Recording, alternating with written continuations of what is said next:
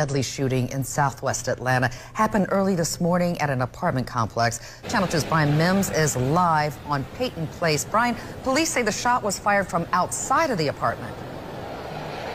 Exactly, and police say they don't have many details about what led up to the shooting, but there is a big police presence here at Peyton Place, just off Martin Luther King Jr. Drive. You can see the officers still on the scene after more than three hours. The call came around 3 this morning, and when officers showed up at an apartment at 9 Peyton Place, they found a man in his early 20s who had been shot to death. It's unclear if anybody else was inside that apartment, but Police say there were no other injuries. We are on top of breaking news this morning. A deadly shooting in southwest Atlanta overnight. Atlanta News First reporter Asia Wilson is live on Peyton Place, where police are still there at that scene. Asia, you've been gathering information now for a while. What are officers saying? We do know that one man is dead, and it is a very emotional scene out here. I just want to show you exactly where we are right now. We're at the corner of Peyton Place as well as Martin Luther King Drive as well, and this is at the corner of a Texaco gas station. So many people are out here. As you can see, you can see people hugging, very emotional, looking at the scene. Much of the focus has been at this apartment complex, like right across the street from this Texaco gas station. Right now, we know that the call came in around 3:01 this morning. All we know that the shooting took place from the street into an apartment complex. Now, right now, police say that no suspect, they don't have a suspect at this time, but again, they do believe that the victim was apparently home when all of this happened alone. Right now, we have very limited information. Uh, we know that the uh, shooting took place uh, from the street into the apartment. Um, we do not have any uh, suspects to identify at this point, and we are working um, with witnesses and canvassing the area for video. Back out here live, you actually just saw the homicide commander going into uh, one of the apartment complexes here, and also crime scene investigators, uh, more crime scene investigators actually just arrived on scene. They've been here uh, taking pictures. You can see them in the street now, kind of looking, I guess, for uh, more evidence in the street here.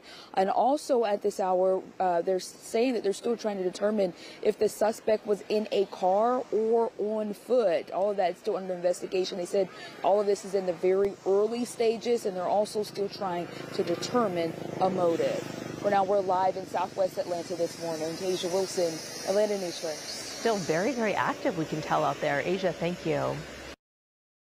Anyway, so some tragic news have actually came about for YSL Woody. So YSL Woody's close, close friend named Tay, who he always posts pictures with uh, and pretty much just say how much he loves him and stuff like that, has actually been killed.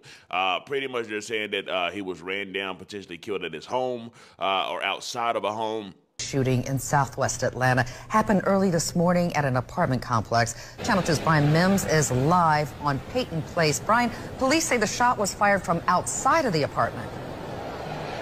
Exactly, and police say they don't have many details about what led up to the shooting, but there is a big police presence here at Peyton Place, just off Martin Luther King Jr. Drive. You can see the officers still on the scene after more than three hours. The call came around 3 this morning, and when officers showed up at an apartment at 9 Peyton Place, they found a man in his early 20s who had been shot to death.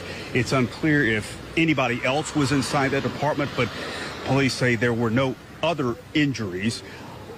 Shooting in now, YSL Woody did take to Instagram to actually speak about it. He posted a whole lot of pictures and he posted some pretty, uh, you know, some pretty scary things with those as well. Uh, pretty much letting it be known that everybody that Tay had issues with, YSL Woody will be making sure that he goes after them. He already said, you had an issue with, I'm on a end. And then he also posted himself with a picture of him saying that he's the last man standing. So this shows that, of course, YSL Woody has lost a lot of people over in the war inside of Atlanta as well. Uh, and to the point to where he feels like he's the last man standing within the streets. Now, we know the, the, the routes of the streets is either dead or in jail, right? Now, YSL Woody, who could have potentially been in jail a long time ago, he took a route of pretty much talking inside them rooms. That way he's able to be free. He, like he said, I say anything, whatever y'all want to hear, just to make sure that I'm free, right? So people always say that the worst type of street uh, is the one that who will murder you and would actually snitch and tell on you at the same time. And YSL Woody seems to be one of the ones that will murder you, but also tell on you at the same time because it did come out in court that he's the one that allegedly unalived Donovan Nut Thomas, right?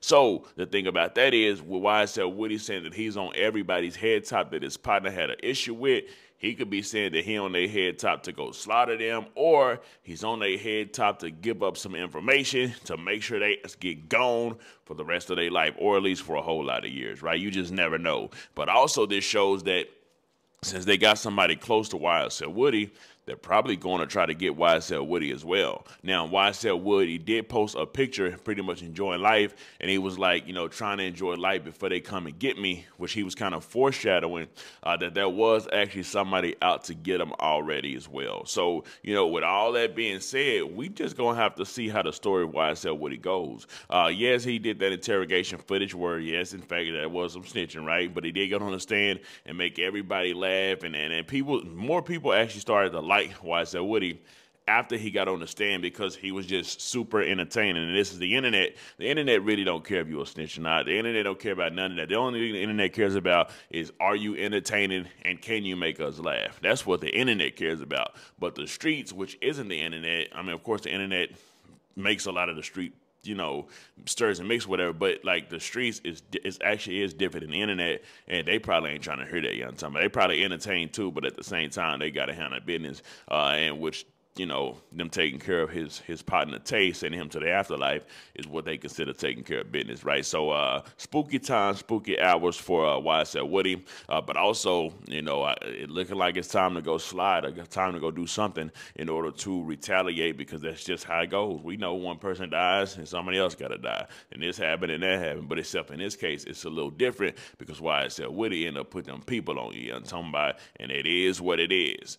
Anyway, so RP to all fallen soldiers. Uh, RP to the soldiers that will fall because we know it's an endless cycle. Let me know some coming down below. Let me know what you think about this entire ordeal. I'm out. Based in part on the statements that Little Woody gave to the police, five YSL members were indicted for murder and 28 members of YSL were indicted for violation of RICO, racketeer, influence, and corrupt organizations. Damn, read this, guys. Based in part on statements that Little mm-hmm. Woody gave.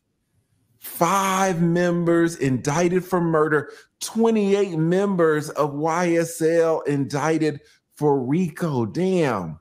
Wow. Little Wood, I mean, his testimony, he brought down, he brought down a gang of people.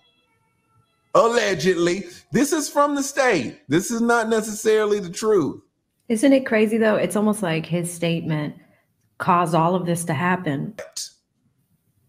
In the days, weeks, in the months following Nuts' murder, Little Woody gave six recorded statements to law enforcement, one of which was over nine hours long, detailing Little Woody's involvement in the criminal street gang YSL and statements of YSL co conspirators about the involvement of YSL members in the murder of Nut and other criminal activity. Little Woody gave a detailed account of the events that led up to Nut's murder, as well as his own involvement in said events and of events and acts committed by Little Woody and other members in the months following the murder. Phone records of Little Woody and other YSL members corroborate the statements that Little Woody gave to police. Statements by YSL co conspirators also corroborate the statements that Little Woody gave to the police. That's why they need him. Yes, exactly. Point, AV. Such a great point. In the judgment of the Honorable Fani T. Willis, District Attorney of the Atlanta Judicial Circuit, the testimony of Little Woody is necessary to the public interest. And wow. Look who signed it. Look who signed it. On Fani T. Willis. Of course, her signature is in bold. this is insanity. I didn't, I didn't, I didn't, I hadn't seen that. When I told you, I don't run behind nobody. I'm from Cannonsville. Okay. What, So I don't know. I don't. I don't know what you're talking about. okay. Saying something about getting rid of me, like I'm. You can't get rid of me. Okay. Back then, I I tell so many lies. I tell 15 lies in one second. I don't recall what I said, and I'm not even trying to remember what I said either. The judge in the YSL racketeering trial has given prosecutors an ultimatum turn over all your evidence by the end of the week, or there may be a possible mistrial. The latest drama unfolded in court today with defense attorneys accusing prosecutors of not following court rules. Fox 5's Angelique Proctor joins us from the live desk in the newsroom with more. Angelique. Well, good afternoon, Christine. Fulton County Superior Court Judge Paige Whitaker made it clear today the state is operating on thin ice. She has repeatedly warned prosecutors that they need to get their act together. Now, for the first time, we're getting another expert. Okay. Never gave us this information before. Young Thug's attorney Brian Steel is once again crying foul and accusing prosecutors of not following court rules when it comes to sharing evidence in the high profile racketeering case. The state pushed back on the allegations by the rapper's attorney, whose real name is Jeffery Williams. To say it's bad faith would mean that we held it back for, I mean, it's, that's not the only definition of bad faith, but we did not, that we, we did not hold it back for any, we did not intentionally keep it from them. Attorneys for the other five defendants quickly chimed in, saying former Chief Superior Court Judge Ural Glanville, who was removed from the case, had already admonished the state for the very same practices during the 19 month trial. And how many times can you say, oops? How many times can you repeatedly, systematically make the same mistake as an experienced litigator? By Wednesday afternoon, the third judge to preside over the drug and racketeering trial appeared to give prosecutors a break. You better make sure you have got all your ducks in a row and you have shared those ducks and ducklings with the defense.